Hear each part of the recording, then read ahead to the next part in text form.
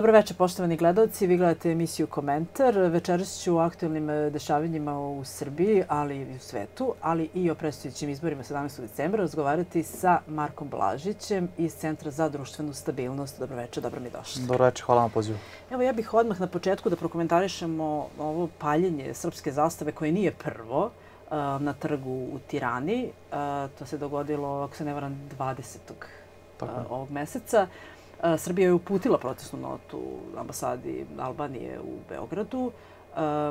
Kada čujemo ovakve stvari, onda jedino što nam padne na pamet jeste da je dogovor i tekako daleko i da do njega prosto možda neće ni doći. Kada se ovakve stvari ponavljaju, imali smo u Orahovcu istu situaciju letos, pa smo imali u maju u Gračanici.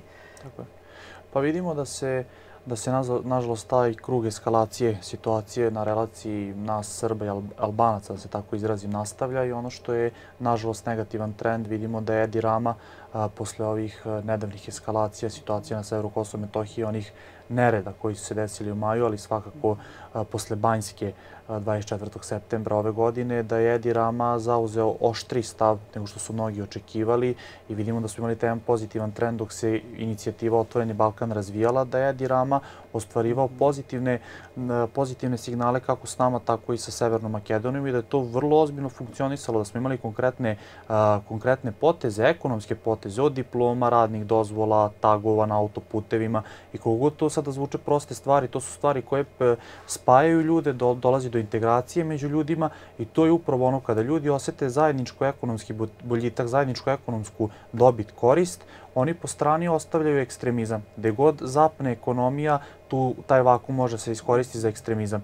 Nažalost, vidimo da Edi Rama, pogotovo posle onog skupa u Tetovu, kada se Albin Kurti e, deklarisao za lidera Velike Albanije, da Edi Rama tu već digao gard i video da će izgubiti konce u tom, da tako kažemo, sve albanskom svetu i da je onda u tog nekog momenta on zauzima e, tvrđi stav upravo da ne bi ostao po strani, a to je vrlo realan scenario da je nastavio s takvom pasivnom politikom, pogotovo prema nama, e, definitivno bi ga Albin Kurti izguro sa strane i sebe promovisao za lidera Albanaca, odnosno te velike Albanije. Videli smo taj skandalozni skup u Tetovu koje ideje on promovisao, odnosno ideje Prizrenske lige Velike Albanije, da sad ne vraćamo kroz istoriju koliko je to duboko 150 godina unazad snimanje Prizrenske lige, prva Prizrenska liga, druga, treća, da sad to sve ne prolazimo. I od tada je Dirama zauzima taj, tako reći, malo ekstremniji, tvrđi stav prema nama, to se sve zaoštrava i upravo s tih najviših političkih instanci se spušta taj ekstremizam na običan narod.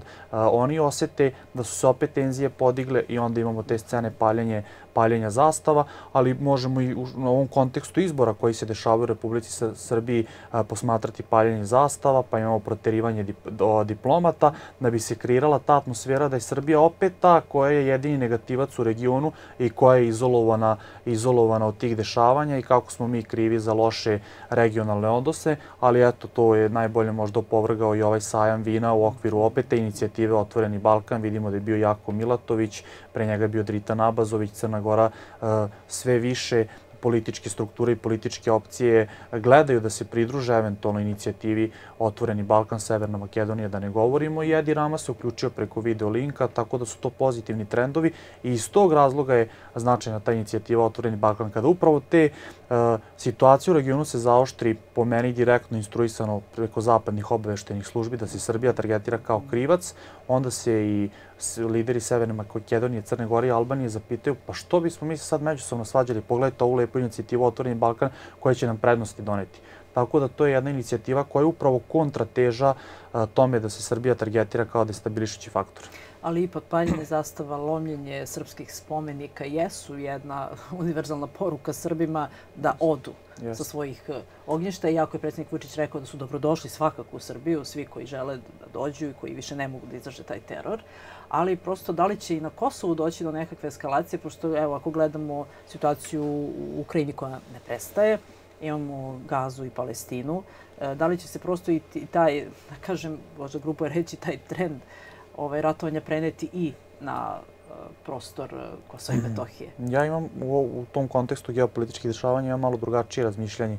Ako pogledamo kako su se američki mediji, američki, američki zvaničici odnosili posle tog incidenta u Banjskoj, koji je vrlo ozbiljan incident, tu je bio znači, oružan sukob, eksploziv, dronovi, maltene jedan, jedan mini sukop se odigrao. Vidimo da su Amerikanci vrlo konstruktivni bili, vrlo, vrlo uzdržani i oni su pravili taj vakum da, da naše rukovodstvo, naša diplomatija odradi posao. Ja mislim da su oni, upravo Amerikanci, bili ti ključni koji su nas možda i spasili od nekih sankcija, ali svakako od nekih većih posljedica koje nismo pretrpeli. Zatim, ako pogledamo rat između e, Hamasa Izraela ili Palestinaca Izraela, kako god da ga nazovemo, e, vidimo da Amerikanci se svim silama zalažu da što pre dođe do primirija. E, ako pogledamo njihove izjave, oni su protiv raseljavanja Gaze, protiv okupacije Gaze nakon završetka kopnene operacije. Da me ne shvatite pogrešno, naravno, oni su podržali kopnenu operaciju jer moraju da je podrže i zbog izraelskog lobija, ali jednostavno Izrael je udarna pesnica Amerike na Bliskom istoku. Podrška je svakako tu, nosačevi ona jesu razmešteni, ali Amerikanci aktivno lobiraju da što pre dođe do primirja. Šta želim da kažem? U tom kontekstu, kada pogledamo i taj incident posle Manjske i, i ovo agitovanje za mir, na Bliskom istoku, ali svakako i sve teže finansiranje sukoba u Ukrajini. Dolazimo do, do činjenice da Amerikancima ne, odgovara otvaranje novih žarišta, pogotovo zato što je nejasna situacija na ukrajinskom rati, što ako pogledamo slom kontrofanzive koje, ukrajinske koji se desio, sredstva enormna koja su izdvojena za finansiranje tog rata, zatim imamo da je predsjednik predsjedavajućeg predstavničkog doma smenjen, pa ponovo izabran. Znači, Amerikanci imaju ozbiljne probleme da finansiraju sukobe u svetu, da ne pričamo o Africi, o vojnim udarima, gde je, na primjer, Francuska pretrpela geopolitičke strašne poraze na afričkom kontinentu, tako da politički zapad u globalu, po meni ne odgovara im otvaranje novih žarišta. Vidimo da imaju problema da ne ulazimo sad u te operativne stvari, ne mogu dovoljno municije da proizvedu. I to sad kad neko kaže ne može nemačka industrija, ne može. Znači ovo se Ukrajini pokazalo da i ne mogu. I ako pogledamo da su obećali milion granata da će isporučiti Ukrajinu od roku od godinu dana, na polu, polugodišnjem preseku oni su isporučili 300.000. Znači 200.000 su ispod, ispod očekivanja koje je trebalo da bude isporučeno. Tako da je to za nas neki pozitivan signal koji nam govori da Amerikancima pre svega u ovom momentu ne, ne odgovara otvaranje novih žarišta, da ne pričamo sad o Nagorno Karabahu, o izjavi Alijeva, da je Blinken rekao da će Alijev i Azerbejdžan direktno da napadne teritoriju Jermenije. Znači ne pričamo više o Nagorno Karabahu, Nagorno Karabah je završena priča, nego da će Azerbejdžan da izvrši invaziju na integralnu teritoriju Jermenije. I tu su Amerikanci to okarakterisali kao vrlo zabrinjavajuću, kako su oni protiv toga i to je još jedan signal da njima ne odgovara otvaranje novih žarišta. Ali je jasno da Albanci imaju podršku međunarodne zajednice i Zapada i kad kažem podršku, mislim podršku i u provokacijama koje upućuju Srbima i ukoliko dođe do nekih većih provokacija u svu tu podršku, kako će Srbija onda biti spremna u tom trenutku da odgovori Pa vidite, ako oni su, Kurti odustao te ideje hrvatskog modela, odnosno Oluje, kako smo gledali u avgustu 95. Ali on se sada pribegao novom modelu, to je takozvana tiha oluja. I ta brojka od 11% Srba koji su napustili našu južnu pokrajinu upravo nam govori da on, nažalost, taj posao dobro radi i mi odgovor na, na, i da se suprotstavimo tome moramo naći. Naravno, odgovor leži u formiranju zajednice srpskih opština koja je okusnica opstanka našeg naroda, ali vidimo da se ona već punih 11 godina ne formira, odugovlači, Srbi odlaze. Na dnevnom nivou se fabrikuju incidenti, da to sada ne prolazimo od zabrane uvoza robe, od uh, lažnih optužnica za, za ratne zločine, od kidnapovanja Srba, ako se setimo i onog kickboksera Miluna koji je pritvore, ne zna se ni koja optužnica u Podujevu u zatvoru. Uh, ozbiljni izvori go, govore da on tamo ozbiljno maltretiran, ozbiljne fizičke povrede i sada sve to ne, ne, znači to je taj model koji je Kurti pribegao, jer on nije dobio uh, odobrenje za tu neku oluju po hrvatskom modelu. I zato on pribegava toj tihoj oluji da bude što veći odliv našeg stanovništva uh, sa, sa ju, iz naše južne pokrajine. Vidimo da je on, da se tako izrazim, probio taj, nažalost, bedem i, i severa Kosova i Metohije, nasilno ga okupirao, naš narod se tamo bori. Ali, evo, vi ste postavili pitanje šta će se desiti. Pa videli smo šta se desilo u Banjskoj narod se podigao na oružje kada mu je došlo, što se kaže, preko nosa, kada više jednostavno nije mogao da trpi, kada vidite kući nazad, to ćete biti kidnapovani, odvedeni u neki zatvor, gde ne, ne znate za svoju sudbinu. Znači, to je, e, to je strah, borba za goli opstanak, za goli život, ne samo vas, nego i vaših porodica. Pa decu su, e, na decu su pucali kada su se vraćali iz seče badnjaka na badnji dan. Znači, to je jedan strah, to je jedna borba. Znači, to, to je onaj zadnji, zadnji otpor gde vi uzimate oružje i ne pitate da li oni imaju dronove koji su podijeli. Znači, idete na sve ili ništa. I ako međunarodna zajednica ne bude izvršila oštri pritisak da se formira zajednica srpskih opština, a pre toga Da idemo redom, da se ukine zabrana uvoza robe, štampe, da se pohitno održe izbori u četiri opštine sa većinskim srpskim stanovništvom na severu Kosova i Metohije, da sad sve ne nabrajam, pa onda da se hitno formira zajednica srpskih opština, ali sa onim nadležnostima koji su definisani ugovorom o prvim principima iz 2015. godine, a ne da se pojavljuju nekakvi non-paperi iz Nemačke koji sve izvršte nadležnosti zajednice srpskih opština ukidaju i da ona bude neka nevladina organizacija. Znači ono što je ključno, školstvo, zdravstvo, urbano planiranje i da može da se finansira e, direktno iz budžeta Republike Srbije. To je okosnica i to su neke najbitnije tačke koje, koje, nadležnosti koje ona mora da ima. E sad, ono što brine je to što je NATO poslao posljednjih meseci dodatne trupe na Kosovo, a sada, evo videli smo posjetu generalnog sekretara NATO-a Beogradu, koji je rekao da se zapravo zatražio da Beograd razmotri mogućnost e, zajedničkog sprovođenja vežbi. E sada, šta to znači, šta ta izjava zapravo znači? Kakve sada, zašto vežbe sa srpskom vojskom? Pa pre svega mislim da je problematično zato što NATO zemlje naoružavaju i aktivno učestvuju i u obuci i na uružavanju, formiranju takozvane vojske Kosova i to je opet kršenje vojno-tehničkog sporazuma iz Kumanova, rezolucije 1244. Tu naravno ključnu ulogu u poslednjih godinu i po dana nažalost igra Turska, koja je pre, prerasla u svojevrsnu odbrambenu, odnosno industrijsku odbrambenu silu, proizvode i te čuvene Bajaktare TB2 koji imaju optoelektroniku da izuzetno precizno izviđa u svim meteonoćnim dnevnim uslovima na 60 km može da nosi navođene bombe, da sad ne prolazimo to pa protiv tenkovske vođene sisteme, haubice, borbena vozila. Mm -hmm.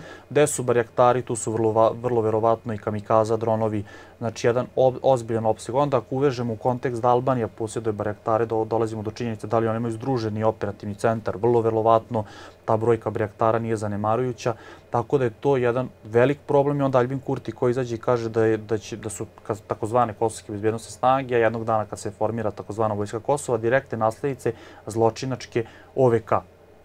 A opet po Kumanovskom vojno-tehničkom sporazumu iz Kumanova OVK mora da bude rasformira i nikakav njen oblik ne sme da postoji na prostoru naše južne pokrajine i jedine legalne, legitimne snage su snage KFOR-a.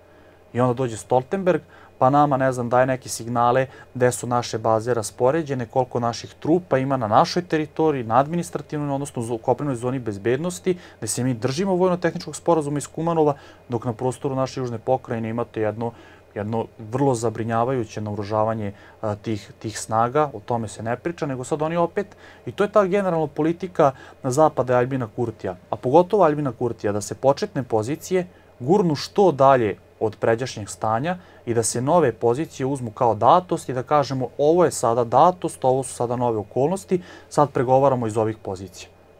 Ne možemo mi pregovarati da, da, da sačekamo još tri godine da još 30% Srba ode, pa da on kaže ni nema vas više tamo, sad ste i nacionalna manjina i ne znam koje priče.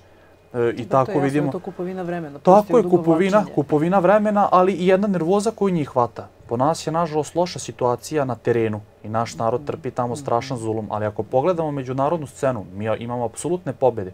Ako pogledamo 28 od priznanja Kosova od 2012. godine, od kad je uh, Aleksandar Vučić došao na čelo države, oni više nemaju uh, apsolutnu većinu u Generalnoj skupštini. Oni više ne mogu da budu ni država posmatrača. Oni da nisu bili, da tako izrazim, narodski halavi. Oni su mogli da traže da budu država posmatrač i oni su tada za vreme, uh, za vreme prethodne vlasti koja ništa po tom pitanju nije radila i već digla ruke od Kosova i Metohije, oni su imali već i onda postanu država posmatrač. Sada to nemaju, nisu ušli u UNESCO, a mnoge bitne države ih nisu priznale. Pazite Kina, pogledajte BDP Kine, pogledajte uh, projekat Pojas i put, oni nemaju nikakve odnose sa takvom jednom ekonomskom supersilom, da ne prolazimo i ostale države. I njih kada to pogledate, hvata ozbiljna nervoza, opravdana nervoza. Sad će punih 15 godina od uh, jednostranog proglašenja nezavisnosti koji su uh, da, pribegle, 2008. tako je, da. pribegle, pri, pri, pribegle pokrajinske vlasti. Oni ništa na međunarodnom planu nisu radili i ta, tu nervozu oni prenose na teren i vrše to nasilje nad, nad Srbima samo zato što su Srbi. Dosta se negativno komentarisalo ovih dana na našim društvenim mrežama poseta, to jest ne ovih dana, nego danas e, poseta generalnog sekretara NATO-a Srbiji uz reči kako je to direktno, njegov dolazak direktno ruganje žrtvama srpskim. I dosta vidim da je zbunilo ljude zašto garda nema oružje. Da. Da se to prosto nije do sada bilo u praksi. Sad, da li su to neke promene Pa pre svega, ja, pre, svega bi, pre svega ja bi ovdje istakao da, da mi moramo kao narod biti svesni da mi imamo mnogo toga da izgubimo ako uđemo u oružani sukob. Mhm. Albin Kurti nema ništa da izgubi. I to brojke govore da ih sada ne prolazimo, naš ekonomski razvoj. Ja sam bio samo ove godine tri puta na prostoru naše južne pokrajine, južno od Ibra, Tamo, je, tamo nema nikakve industrije, nikakve ekonomije, nikakvog razvoja infrastrukture. Oni jedva svi čekaju 1. januar i viznu liberalizaciju. Sve karte autobuske, avionske su pokupovane e, za evropske destinacije i kupljene karte u jednom smeru, da se tako izrazim. Znači, imamo puno da izgubimo, oni nemaju apsolutno ništa u tom smislu da izgubimo. S druge strane, jedini garant mira, koliko god to nama bilo ulivajući faktor ili ne, ali ono što je de facto i što je činjenica na terenu, jedino ko može da obezbedi sigurnost našem narodu su upravo snage KFOR-a, odnosno mandat koji imaju NATO snage koje su direktno podređene tom Stoltenbergu koji je bio u Srbiji, a koji nama ne prija. Ako mene lično pitate, ja mogu da iznesem svoj stav, ali ono što je objektivno, što jedino može da spasi glavu nekim, možda opet dečacima koji će se vraćati sa seče badnjaka, su snage KFOR-a. I tu ne treba imati nikakve zablude. Tako da je ova posjeta po meni vrlo bitna da se desila i to tako posmatrajući u svetlu da je to ruganje žrtvama, svakako da imamo tu bolnu istoriju, strašno šta se desilo i kad setimo one pobijene dece, jednog ekocida koji je sprovedeno, siromašeni uranijum, ali ne samo to i gađanje rafinerije u Pančevu, svega ostalog. Pogledajte, imamo jednu epidemiju, nažalost, malignih bolesti. Sada da ne prolazimo ekonomsku štetu. Pa da, i kada generalni sekretar kaže došao sam da se zalažem za mir, uh, postavlja se pitanje šta je bilo 99. Zašto, tako zašto pa, i tada znamo, nisu istu poruku poslali? Tako, ma znamo šta je bilo, ali pazite, oni su tu tako reći sebi skočili. I ne samo 99. Oni su tu sebi skočili u stomak. Oni su otvorili jednu pandorinu kutiju, polete kako im se to vraća u Ukrajini, gde Rusija može da se pozove na kosovski presedan i oni jednostavno žele kosovski problem što pre da reše i da zatvore tu pandorinu kutiju koja im je otvorila i pitanje Krima i pitanje Donbasa, a ko zna šta još može da otvori i Tajvan i svako može da se pozove na taj model i da kaže pa čekajte, vi ste, uh, vi ste agitirali za secesiju Kosova od Savezne Republike Jugoslavije, od Srbije, razumete, dupli standardi, aršini na delu, tako da oni to što pre žele da reše. Ali mi moramo biti svesni te činjenice da jedini garant trenutno mira i stabilnosti, odnosno kakvog takvog normalnog života na, su našim sugrađanima i su upravo te snage KFOR-a i mislim da je zato bilo ključno i kada je predsjednik inicirao sastanak u Briselu, kada se sastao sa Stoltenbergom pre ovog sastanka, upravo i te snage KFOR-a da se, koje se povećavaju, um, eto, nažalost to se sada gleda i bukvalno iz koje države oni dolaze. I nam, mi smo eto, imali taj pozitivan signal da su Rumuni povećali svoj kontingent, država koja ne priznaje uh, takozvano Kosovo. S druge strane, opet Turci prave probleme. Oni su svoj kontingent podigli na preko hiljadu i čini mi se da su oni uh, i Amerikance po brojnosti, da su prvi i Nemce, da su čak eh, prestigli, da su prvi po broju pripadnika pripadnika svojih snaga uh, opet u bazi koja nosi simboličan naziv Sultan Murat i vidimo da su Turci, nažalost, u taj svoj neosmanizam, ja bi njih tu apostrofirao, uh, kao to taj vojno-operativni i politički najveći problem. Naravno, Nemci su veći politički problem, ali su se Turci u posljednjih godinu i po dana toliko angažovali na naoružavanju takozvane vojske Kosova, da je to jedan stvarno, stvarno velik problem i to opet treba pohvaliti naše državno rukovodstvo. Tu bi se malo svrnuo na te sisteme koje su nabavljeni e, iz Ruske federacije pre ovog sukoba iz Kine, FK3 sistemi, pan, pancir sistemi, zatim razvoj domaćih hibridnih sistema kao što je Passars, e, od Francuza Mistral 3 koje su najsavremeniji najsavremeniji iz svoje klase, da ne pričamo sada dalje, da ne prolazimo, ali, ali gledalci moraju biti svesni činjenice da mi na vreme nismo krenuli da jačamo vojsku i da smo slušali one priče, ukinite vojsku, šta će nam vojska, kol, kako tako, tolke pare izdvajate za, za vojsku, bi bili u ogromnom, možda ne, nenadoknadivom problemu.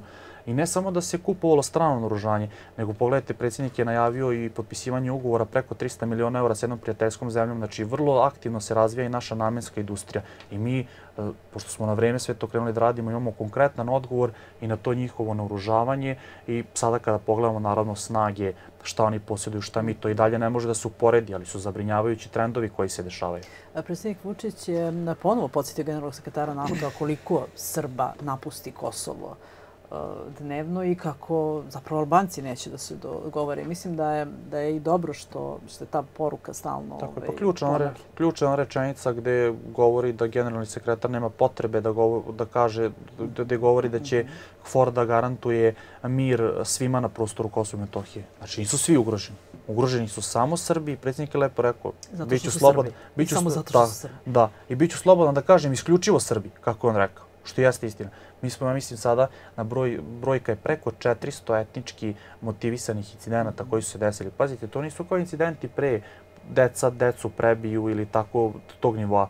Znači imamo ovde oružane napade, pucanje na Bistričkom mostu, opet ta, ti mladići koji su se, deca koji su se vraćala sa seče badnjaka, kidnapovanje ljudi, znači jedna, jedno, jedno divljanje Albina Kurtija koje se dešava i naravno ja sad i kad gostujem i kad analiziram, već to nekako postane izlizana, ma, niko nema odgovor na to. Jednostavno, borba je teška, lakog odgovora nema i donekle i ona rečenica uvek treba da nam bude u glavi, da budemo svesni naše pozicije, sva dobra rešenja su davno prošla. I to je donekle, ta rečenica govori koliko je situacija po nas teška, ali mi ono što su naše crvene linije i to je vrlo bitno što je državno rukovodstvo i predsjednik definisao da nema priznanja Kosova, nema članstva Kosova u jedinjim nacijama, međunarodnim organizacijama, nećemo dozvoliti novu oluju, za sve ostalo možemo da pregovaramo, dogovaramo, ništa nije sporno, sve može biti... Dokle to bude moguće. Dokle to bude moguće, ali ove tri stvari su crvene linije koje neće biti pređene.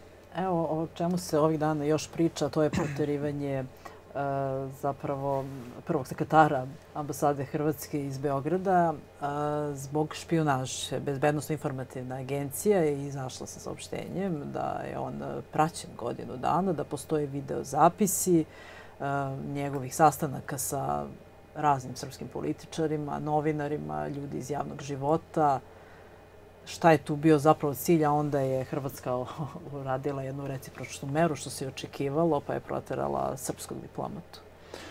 Tako je.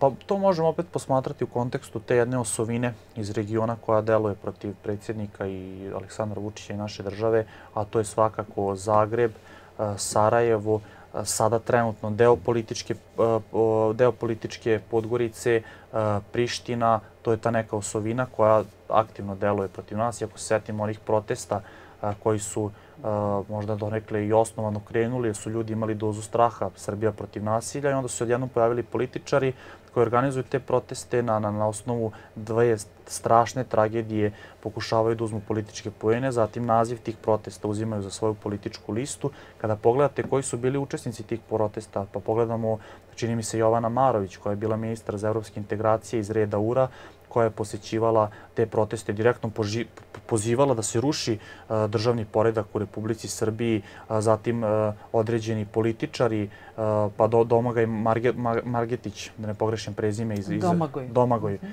iz, iz Zagreba. Takođe, znači to nam govori novinar da su ljudi ovde dolazili direktno pozivali na rušenje ustavnog poredka Republike Srbije i to je na, kada posmatramo na tom nivou donekle i okej. Okay ali onda imate diplomatu najvišeg ranga gde nesporno postoje dokazi. Bezbednostna informativna agencija ne bi izašla i igrala se s takvim stvarima. On je sigurno direktno uhvaćen na delo. Ali šta želim da uvežem i da, i da, i da povežem, tako reći?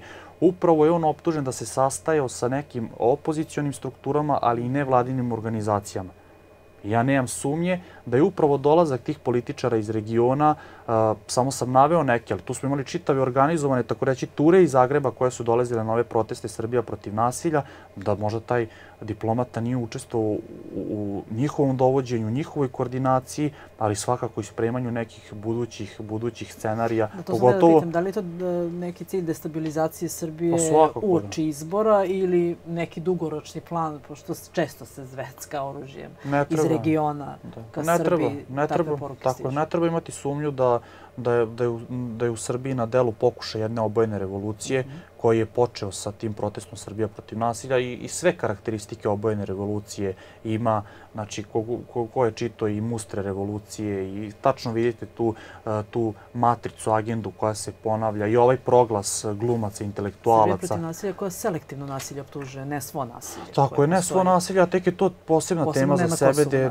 gde Dragan Bjelogrlić izađe i on priča kako živimo u ugroženom društvu, u društvu koje je puno nasilja i onda pogledate onaj snimak kako u ranim jutarnjim e, satima on lično vrši nasilje nad starijim čovekom koji sedi u stolici. Mislim, to je skandalozno koju, koju, šta ljudi sebi dopuštaju ali mislim da ne ulazimo u tu problematiku i možemo, sto ljudi već znaju, meni je iskreno da vam kažem, bolno da, da, da pričam da smo mi kao društvo, uh, uh, da nemamo toliko zrelu opoziciju, da nismo zreli kao društvo i da, i da su neki ljudi bili spremni. Pa onda ona izjava da roditelji nemaju tapiju na bol kada su tražili da. ukidanje da. anketnog odbora. Koliko to može biti monstruozno i gnusno da, da, da prosto čovek ne poveruje na šta su oni spremni. Samo u momentu kada su osetili, joj vidite ovaj broj ljudi na ulici, to je sada iskoristimo za naše političke poene. Inače oni u tom ludilu više ne znaju šta pričaju, onda izgovaraju roditelji nemaju tapiju na bol.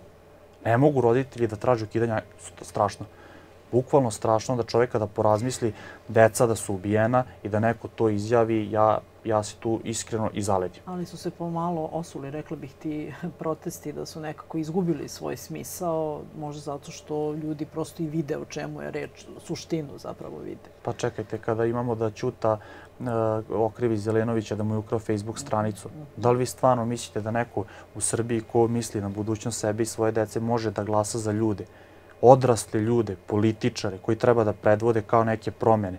Oni se posvađaju oko Facebook stranice, gde ga ovaj, ne jednom, pa da ovaj ga u 10-15 tweetova optužuje, ja sam gradio tu Facebook stranicu, te pratioce, mislim, da mislite sutra da oni uzmu neku vlast, oko čega bi se oni dogovorili i na šta bi to ličilo? Pa to bi direktan, ja mislim da bi to bio istorijski najbrži sunovrat Srbije koji se, koji se desio od postojanja od postojanja Srbije kao, kao države. Interesantno što oni nisu izašli sa nekim konkretnim programom, osim e, priče o Srpskoj napravoj stranici i predsjedniku Vučiću koja ne prestaje, još i pre kampanje.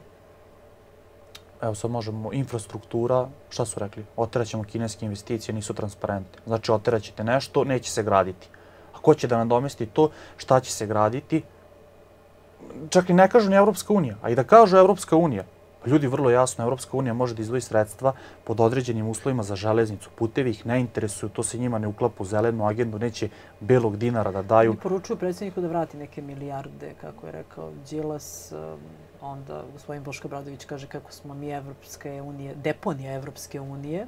Mm kako je Srbija to postala, tako je, pa, pa i kolonija. Tako je, tako je. Pa vidimo da, eto, da je Đilas kompletan taj spektar pokrio. On napada kineske investicije, njegov Boško Obradović, po... njegov Boško Obradović, po, po, podelili su se da napadnu i s leva i s desna, a u stvari i, i Boško Obradović i zavetnici i levo i desno mm -hmm. i mhm. kvazi desničari svi rade za isto gazdo, to su Šolak i, i Đilas. I kada čovjek izađe na televiziju i hvali se kako je on uh, E, svojim, ne znam, nekim sposobnostima, ne znam samo kakvim, e, zaradio tih 619 miliona eura. Izađe na televiziju i prizna. Sada vi kažete, ok, zaradio si 619 miliona eura u nekoj državi gde je BDP recimo 200 milijardi, gde, gde, imate tu neku ekonomiju. Vi, ti si zaradio 619 miliona eura kada je Srbija propadala. Ali bukvalno propadala. I, I za to nije odgovarao. I za to, i za to nije odgovarao nažalost, evo pitanje u svetlu svega i kada bi se pokrenuo neki proces, kako bi se to, kako bi to mediji njegovi Nova SN1, ali svakako i zapadne obaveštene službe, da li bi on bio predstavljen kao žrtva. Pogledajte slučan, slučaj u Rusiji Navaljno, kako je na osnovu hapšenja zbog pronevere, zbog korupcije, jedan čovjek dignut upravo tim hibridnim ratom, medijskim ratom, ali i radom stranih agentura do, do, do nivoa nekog heroja, neke žrtve.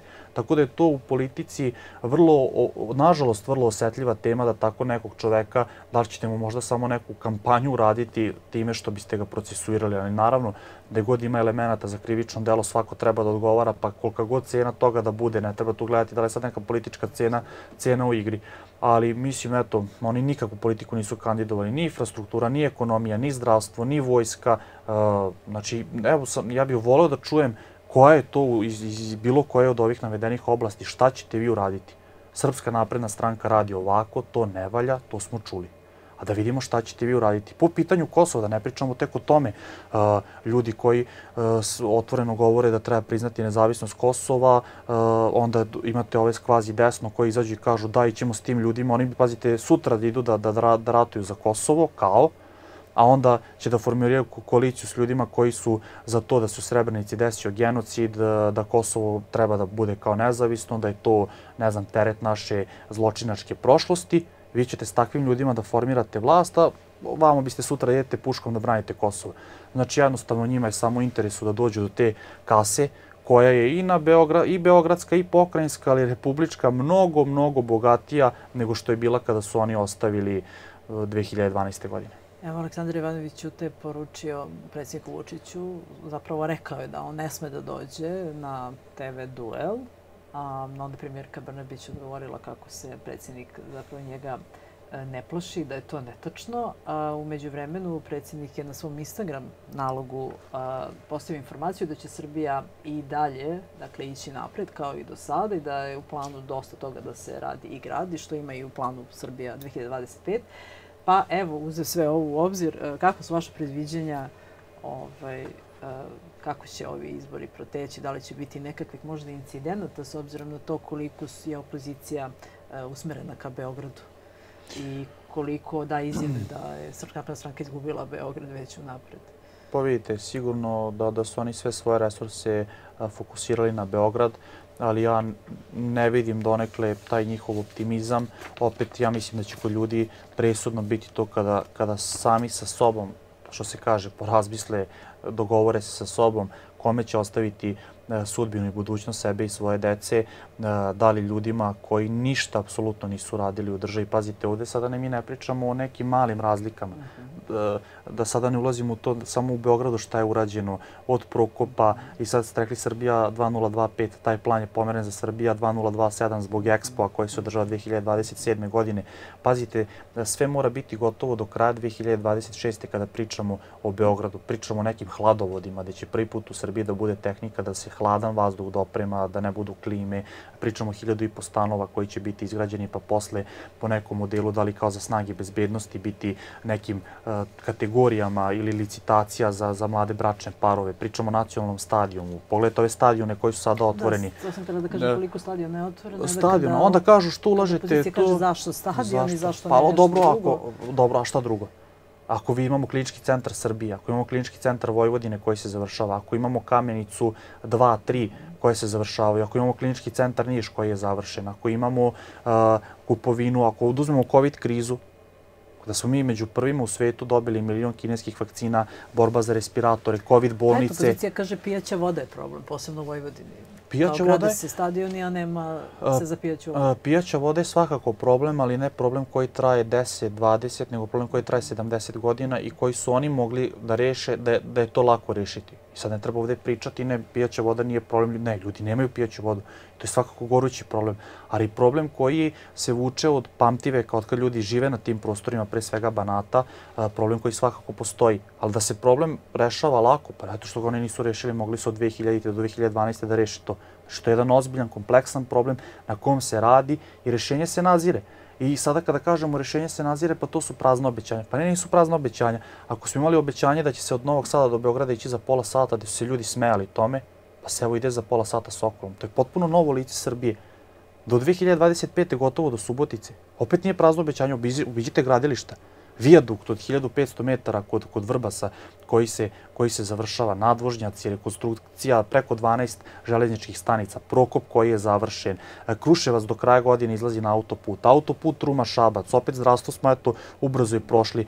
Da pogledajte samo šta se e, sledeće godine otvara. I Vera Klajkovac Valjevo izlazi na autoput Miloš Veliki, Pakovraće Požega, gde imate dva tunela od bezmalo ukupno 6 km, gde je planina Jelica tako reći, premošćena. To su ozbiljni infrastrukturni, pogledajte Fruška gora, Fruškogorski koridor, završava se do Loznice, brza saobraćajnica, Podunavski koridor, Smajli kreće da se gradi, autoput Zrenjani, Novi Sad, Beograd, znači više, da, da sad samo ukratko pređemo i kada pogledate u kom stepenu ili su završeni ili su pri završetku ti onda Kuzmin Sremska rača ili se završavaju ti objekti, onda kada neko izađe ko je sve to uradio i kaže rešit ćemo i pijaću vodu, samo malo strpljenja, Znači već se nazire rješenje da bude prvo tehnička, pa zatim i da može da se koristi i za, i za oralnu upotrebu ta voda, uh, onda vi imate, onda vam neko ozbiljan to govori i vi verujete da će to tako i biti upravo zbog svega ovoga što je urađeno u državi.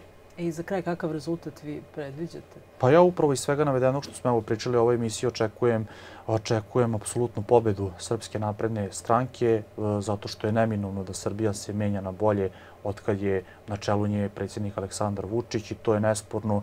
Evo, ukratko smo prešli neke oblasti, dotakli smo se vojske, zdravstva, infrastrukture. Uspeli smo nekako za pola sata. Jeste, za, za pola sata. Naravno da problema ima koji treba da se rešavaju, da li su to možda i reforme i prosvete, ali s druge strane imate i upravu gde je premijerka Ana Brnabić odigrala sjajan posao preko je uprave, gde su mnogi elementi, sektori uprave prebačeni na taj elektronske servise, Tako da je jedan sjajan posao, naučno-tehnološki parkovi, IT sektor koji beleži neverovatan, neverovatan izvoz da je već premašio poljoprivredu, čini mi se. A to je povratak e, mladih u Srbiju. I povratak. Zapravo upravo naučno-tehnološki parkovi jesu je, jedan tako, od tako je. I, razloga. Tako je. I sad se akcentuje i jednostavno nije moglo ranije da se radi na tome politika nataliteta. Mi moramo biti svesni činjenice, državno rukovodstvo je svesno činjenice da kao narod svake godine nas ima za 30.000 manje.